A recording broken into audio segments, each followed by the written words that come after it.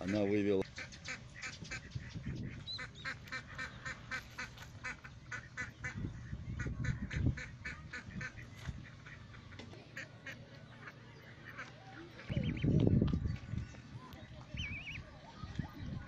который живет у нас сейчас.